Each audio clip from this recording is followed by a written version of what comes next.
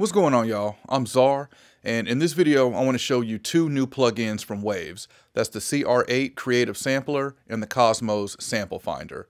CR8 is a easy to use sampler that allows you to layer up to 8 sounds at once and Cosmos is a sample finder that goes with CR8 that takes your entire sample library, it'll analyze it, auto tag it, and present it in an intuitive star map interface making it easy to find your samples. Let's take a closer look. So this is CR8, and I've got a track here that I made using all sounds from CR8 or sounds that I've sampled into CR8 that I'll let you hear shortly. Uh, but first, let's go over the controls.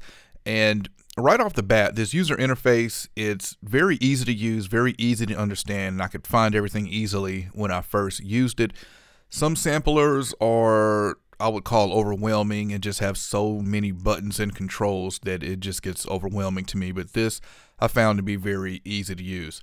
All right, so controls. The first thing you'll see in this upper left is this icon here, and this is going to launch Cosmos, uh, which is the sample finder. We'll get into that a little later. This, uh, like I said, is eight eight sounds that you can layer on here. So this does have a full set of preset sounds in here. I'm, I'm using one of them now. And on this pad, you see that we have three sounds here. This one, this one, and this one. And all together it sounds like this.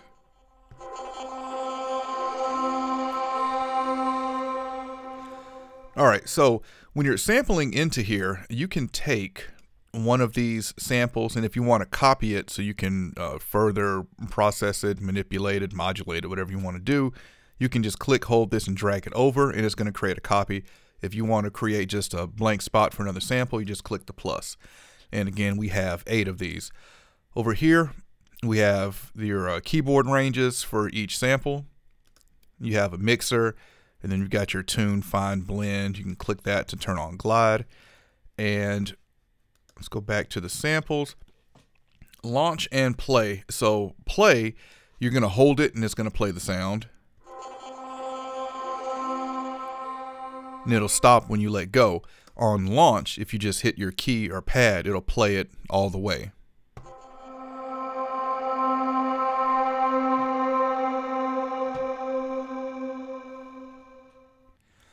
So depending on you know how you want to uh, use the sample, you can use it in launch mode or play mode.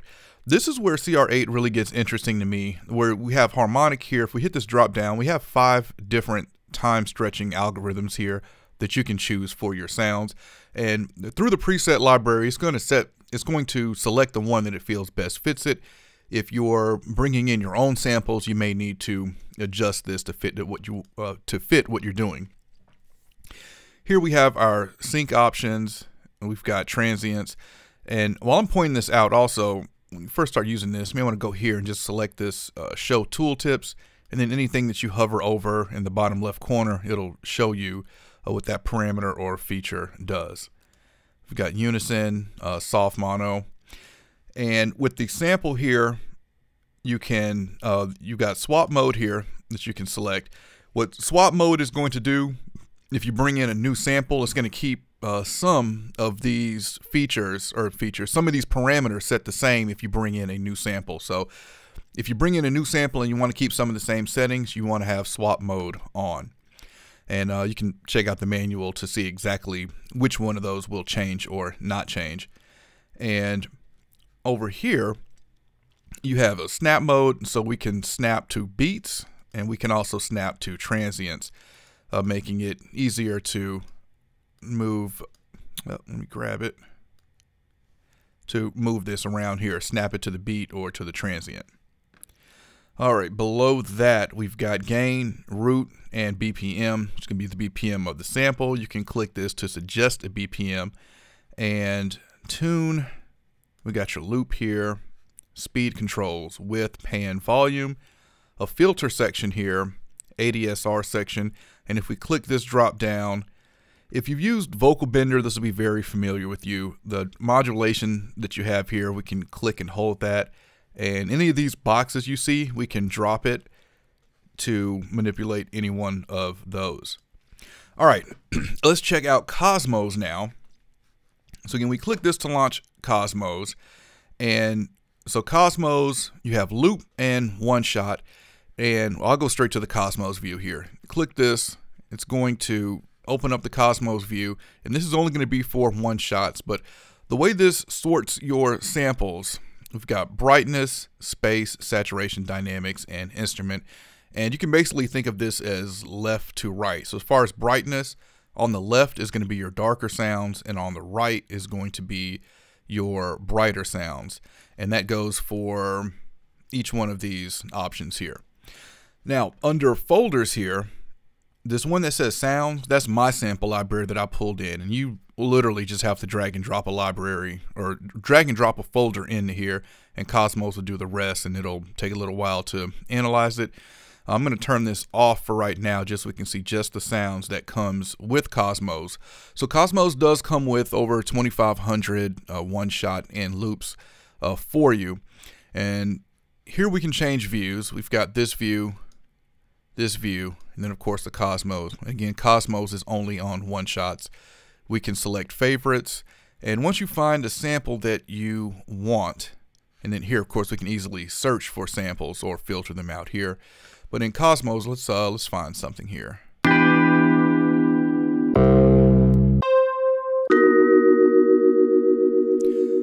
All right, let's, let's let's say we want to work with that. To get this over into CR8, we've got a couple options. We can click here and just drag it over here. We can do that. Let me actually let's close these and we'll just start with one. So I can grab this and just drag it over here and do it like that. Or let's find another sample.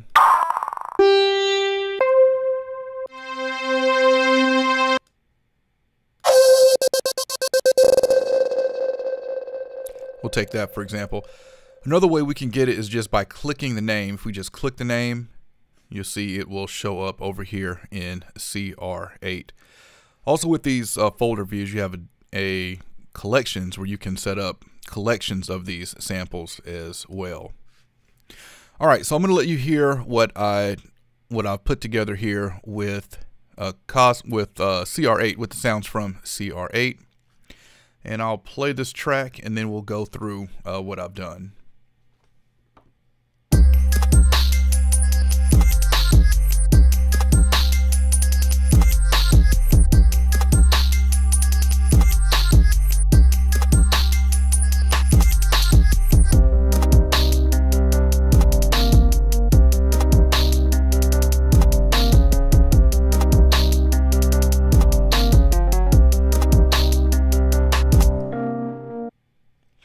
Okay, so let's start from the top. We have the drum kit that I used here is just one of the drum kits that came with CR8 and just solo that here.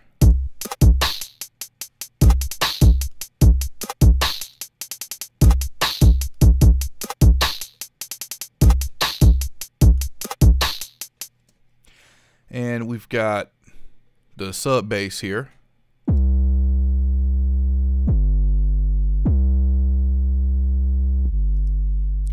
So one thing I want to point out on this sub bass, a, a cool uh, feature, and I don't use a lot of samplers, so I don't know if this is unique to CR8 or if all samplers do this, but you see that this sample played, and then when it got to the loop point, it just kept looping in there. I'm going to play that again.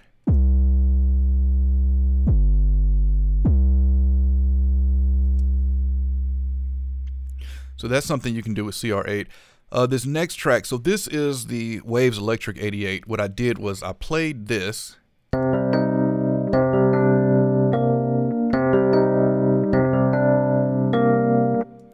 So I played that, and then below that is where I bounced it, and then I sampled that into CR8, and then I was able to get this.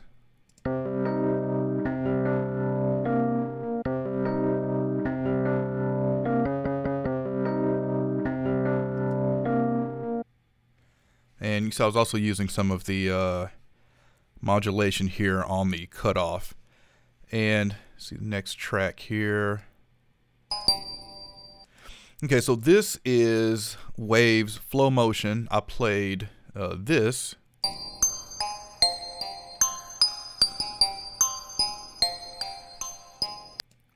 and then bounced it and put it into uh, CR8, and then I was able to get this.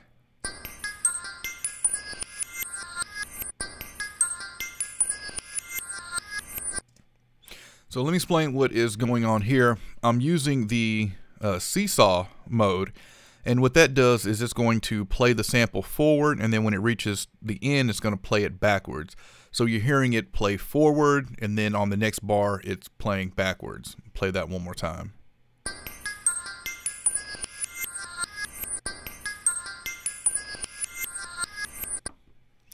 All right, next track.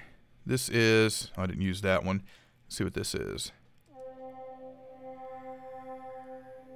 Oh, this is the pad. Okay, so the pad, uh, this is a preset here. This was using Seesaw, so you see it plays, and then it bounces back, plays it back in reverse.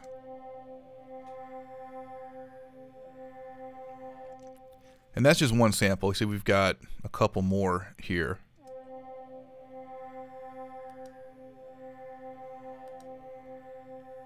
So this sound is using uh, three samples. Let's see what this is.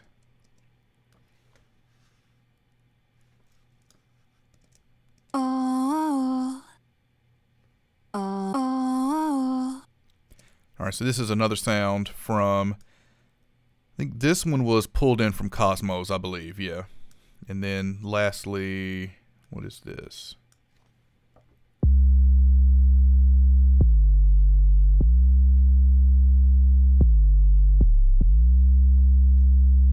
All right, so that was another sub bass, and that came from Cosmos as well.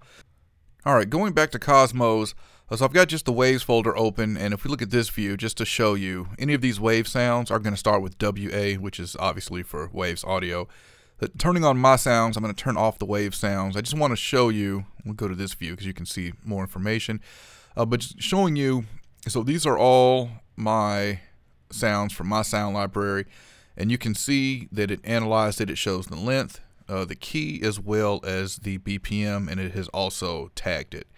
Now, if you want to uh, edit these tags, all you have to do is go here, right click them, and you have edit tags, edit attributes. You can also show where it is in the Finder, and you also get more information about that file. All right, so CR8, kind of my final thoughts here. I think this is a nice direction for Waves to go in, and the sampler is only $9.99. Cosmos is free. I think what's going to happen here is we're getting now the sampler for $10, and I think eventually uh, we'll see Waves release some sound packs of samples that will add to this to help it grow as a product. But I found it very easy to use. A lot of other samplers can be overwhelming to me with just too much buttons, knobs, controls. I normally use Sample 1 from Studio One because of its simplicity. Uh, but one thing I noticed that CR8 doesn't have, and that's effects. I did find that kind of odd. There's no EQ, reverb, delay, uh, stuff like that built into CR8. But to be fair, Waves makes a bunch of those plugins already, and you can very easily, uh, let's see, show this here you can take these samples from Cosmos and I can drag them directly into Studio One. So they don't have to go into CR8. And so if I do that, I can then add reverb, delay, EQ, process it, do what I, whatever I want to do with it, and then bounce that out and bring that into uh, CR8 and do more to it. Uh, so I will have a link in the description if you want to check this out and learn more about it. Uh, follow my channel because I will be having more videos on CR8, uh, just some tutorial videos. I won't cover everything in this video here, so uh, definitely subscribe and you'll get those videos when they come out. But uh, if you enjoyed this video, I appreciate a thumbs up, and if you want to continue to see content from me, then you know what to do. All right, any questions, comments, uh, let me know, and I'll catch y'all next time.